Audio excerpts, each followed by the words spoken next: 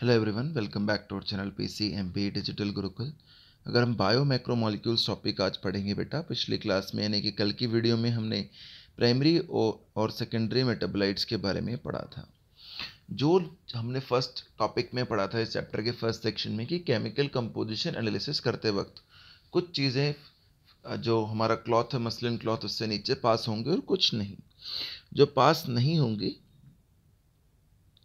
उनको हम कहते हैं मैक्रोमोलिक्यूल्स तो यहीं से इसकी शुरुआत है कि वो एक फीचर जो सभी कंपाउंड्स में कॉमन है, जो कि एसिड सॉल्युबल पूल में थे, यानी कि जो फ़िल्टर हो गए थे फिल्टरेट थे, उनका वेट 800 डेल्टन तक होता है। और जो सॉल्युबल नहीं हुए, जो फ़िल्टर नहीं हुए, उनका वेट उससे ज़्यादा होता है। सॉल्युबल ना होने वालों में प्रोटीन न्यूक्लिक एसिड पॉलीसेक्राइड और लिपिड्स होते हैं। लिपिड के अलावा इन सभी का वेट टेन थाउज़ेंड डेल्टॉन और उससे ज़्यादा पाया जाता है। तो chemical compounds found living organism दो तरीके के हैं।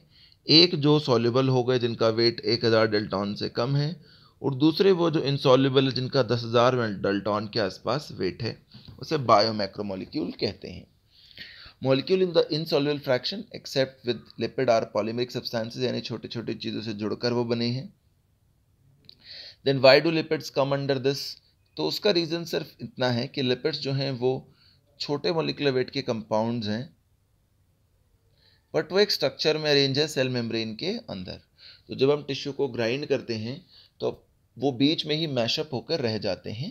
When we grind a tissue we are disrupting the cell structure कि अगर ये टिश्यू था और इसकी प्लाज्मा मेम्ब्रेन में यहाँ पर लिपिड्स हैं बहुत सारे और जब हम इस टिश्यू को ग्राइंड कर रहे हैं तो एक्चुअली क्या हो रहा है कि सेल मेम्ब्रेन भी कई हिस्सों में ब्रेक हो रही है। एक हिस्सा ये हो गया, एक हिस्सा ये हो गया, एक हिस्सा ये हो गया, ऐसे ब्रेक हो जा रही है।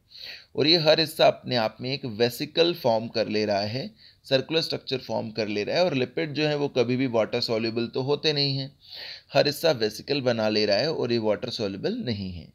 तो ये वेसिकल्स के फॉर्म होने के कारण सॉल्युबिलिटी इनकी कम होने के कारण ये एसिड इंसॉल्युबल पूल में ही रह जाते हैं।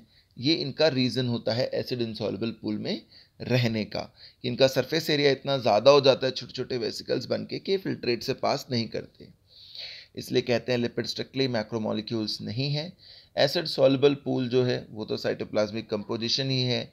एक तरीके से macromolecules from cytoplasm in organise become acid insoluble pool दोनों को मिला देंगे तो पूरी केमिकल कंपोजिशन इसी से हमें पता चल जाएगी। और अगर हम टेबल को ध्यान से पढ़ेंगे तो सबसे ज़्यादा कंपोनेंट सेल के अंदर, साइटोप्लाज्म के अंदर वाटर का है, फिर प्रोटीन्स का है, फिर कार्ब्स का है, फिर लिपिड्स का है, फिर न्यूक्लिक एसिड और आयंस का है।